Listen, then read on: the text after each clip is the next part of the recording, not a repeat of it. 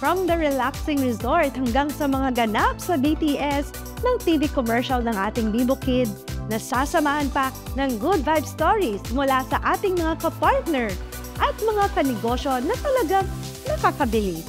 In this episode of Negosyo Goals, from kids, pati na rin mga kids at heart, ay siguradong matututo at mag enjoy dito lang sa Negosyo Goals sa GTV tuwing linggo alas 6.30 ng umaga.